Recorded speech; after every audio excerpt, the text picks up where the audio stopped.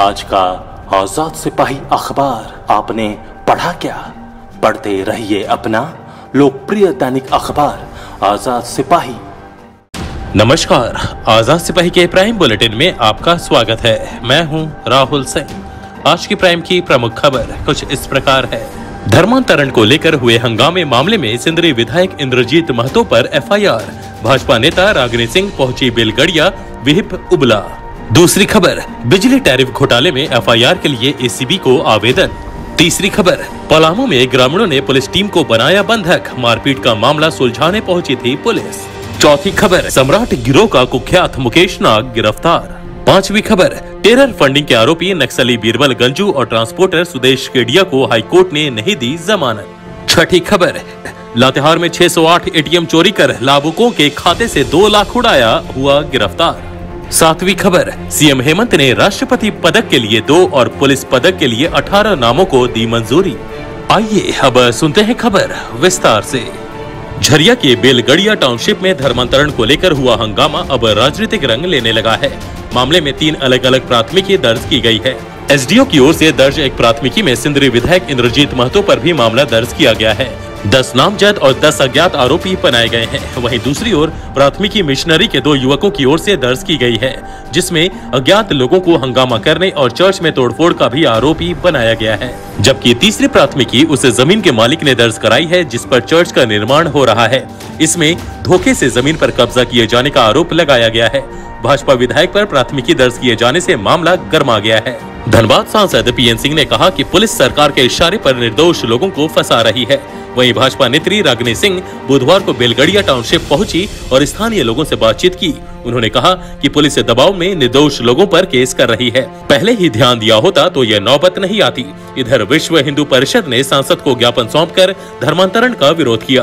परिषद के केशव राजू ने कहा कि एक साजिश के तहत धर्मांतरण कराया जा रहा है। सरकार को इसे देखना चाहिए। अब नज़र डालते हैं आज की दूसरी प्रमुख खबर पर।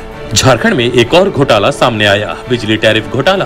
बिजली टैरिफ घोटाले में बुधवार को एसीबी में प्राथमिकी दर्ज कराने का आवेदन दिया गया है। यह आवेदन सामाजिक कार्यकर्ता राजीव राय और पंकज कुमार की ओर से दिया गया है।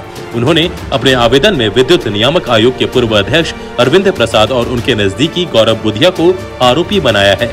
मामले में राजीव राय ने बताया कि बिजली के रेट में हेरफेर कर सरकार को करोड़ों का चूना लगाया गया है। अब नज़र डालते हैं आज की तीसरी प्रमुख खबर पर। पलामू के चैनपुर थाना क्षेत्र में एक गाँव के लोगों ने पुलिस की टीम को बंधक बना लिया।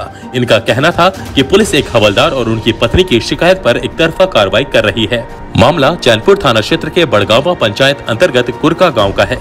बुधवार को जब अनिता देवी, पति राजाराम सिंह की शिकायत पर जाँच करने के लिए पुलिस की टीम गाँव में पहुँची तो ग्रामीण भड़क गए और पुलिस को घेर लिया। इनका कहना था कि पुलिस प्रशासन एक आदमी की शिकायत पर एक तरफा कार्रवाई करती है। लोगों ने सड़क जाम कर प्रदर्शन किया।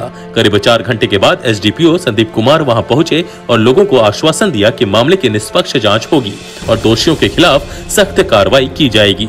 इसके बाद लोगों ने जाम हटाया। अब नज़र डालते हैं आज की चौथी प्रमुख खबर पर।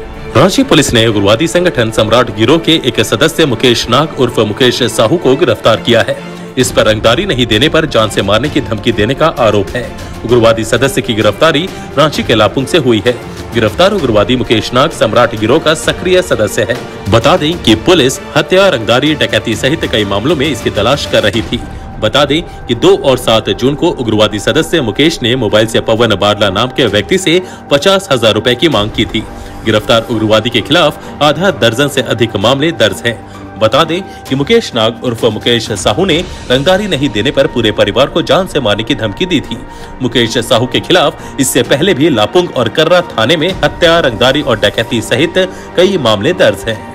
अब नज़र डालते हैं आज की पांचवी प्रमुख खबर पर झारखंड हाईकोर्ट ने टेरर फंडिंग के आरोपित नक्सली बिरबल गंजू और ट्रांसपोर्टर सुदेश केडिया की जमानत याचिका को खारिज कर दिया है। पूर्व में अदालत ने बहस पूरी होने पर अपना फैसला सुरक्षित रखा है। बुधवार को फैसला सुनाते हुए अदालत ने इस मामले में दोनों को जमानत देने से इनकार कर दिया। इस मामले की जाँच एनआईए कर रही है। बता दें कि टंडवा के आम्रपाली एवं मगध कोल परियोजना में वसूली गई लेवी की राशि उग्रवादी संगठन टीपीसी को दी जाती है। इसका इस्तेमाल हथियार खरीदने के लिए किया जाता है। अब नज़र डालते हैं आज की छठी प्रमुख खबर पर। लातेहार के सदर थाना क्षेत्र के टरवाडीही पंचायत भवन में बंद पड़े टीएसपी सेंटर से करीब 608 एटीएम कार्ड और उनके पासवर्ड की चोरी करने वाला मोहम्मद जिब्रिल अंसारी उर्फ़ फैयाज को पुलिस ने गिरफ़्तार कर लिया है। बुधवार को पुलिस निरीक्षक सह थाना प्रभारी अमित कुमार गुप्ता ने बताया कि आरोपी ने 70 एटीएम कार्ड का प्रयोग कर लगभग दो लाख रुपए की निकासी भी की है।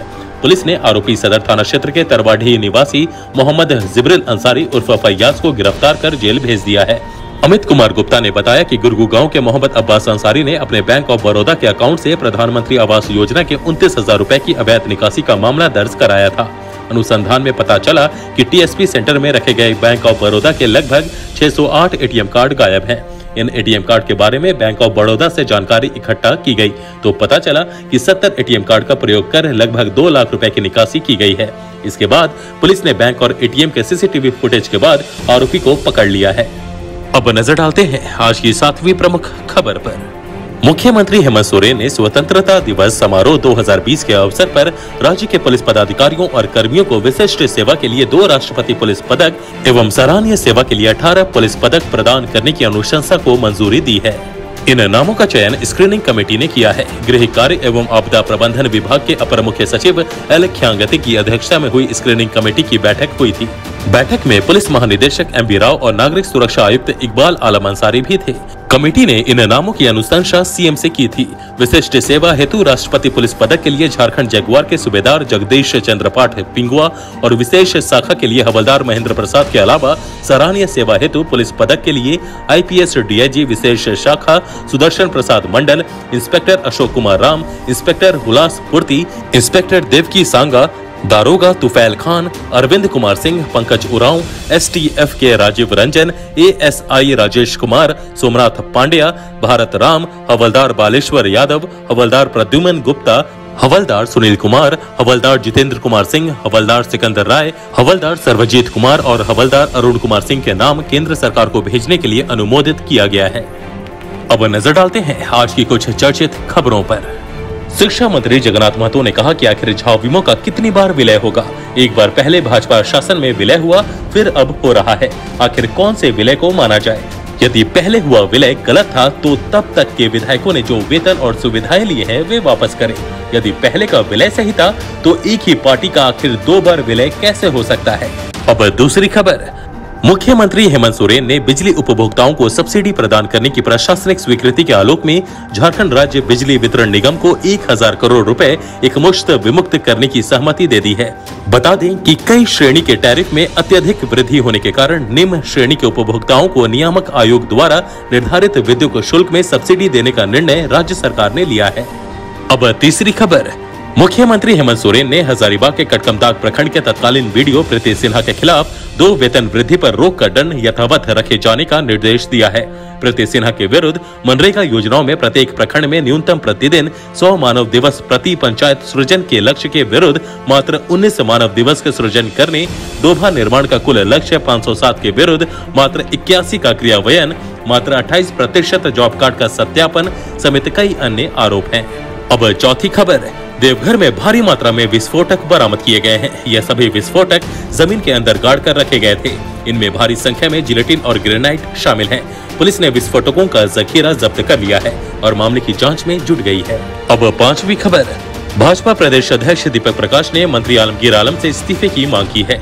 उन्होंने कहा कि ठेका मैनेजमेंट का भेद खुल गया है। मामले में उनके और संवेदक के बीच हुई बातचीत का ऑडियो वायरल हो रहा है। इस मामले में मुख्यमंत्री को मंत्री से इस्तीफा ले लेना चाहिए। अब छठी खबर। भाजपा नेता अरुण उराव ने सिद्धो कानो के वंशज रामेश्वर मुर्मू की हत्या की जाँच सीबीआई से कराने की मांग की है।